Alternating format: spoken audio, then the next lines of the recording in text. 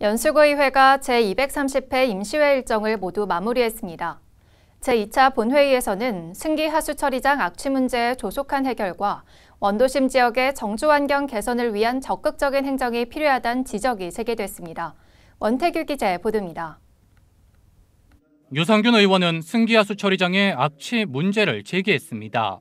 승기하수 처리장에서 발생한 악취로 주민들이 고통받고 있지만 사업이 지연되고 있음을 지적했습니다. 유 의원은 승기하수 처리장의 근본적인 문제 해결이 필요하다고 강조했습니다. 인천시장과 시 공무원들은 악취를 참고 견디고 있는 연수 국민들께 통스럽게 생각하고 반성해야 합니다. 도대체 언제까지 시민의 고통에 눈 감고 귀 닫고? 앞서 인천시는 승기하수 처리장 현대화 사업의 입장을 밝힌 바 있습니다. 사업 방식은 재정 사업으로 배치는 현 부진의 지하화로 정책 방향을 확정했다고 전했습니다.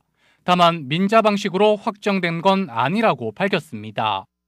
최숙경 의원은 연수군의 원도심 지역에 정주 환경을 획기적으로 개선할 방안을 마련해야 한다고 강조했습니다. 신도심과의 격차가 심해지면서 인구 유출과 고령화 문제가 동시에 발생하고 있다고 우려했습니다. 이를 해결하기 위한 공동주택 환경 정비에 구가 적극적으로 나설 필요가 있다는 주장입니다.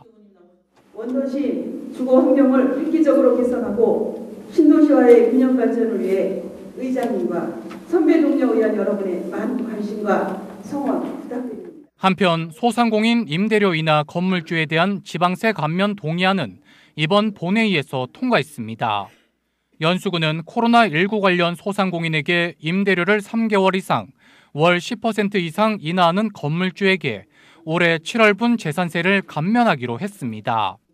지역사회의 착한 임대료 운동의 확산을 도모하고 민관 상생을 통한 지역 경제 위기 극복을 지원한다는 취지입니다. NIB 뉴스 원태규입니다.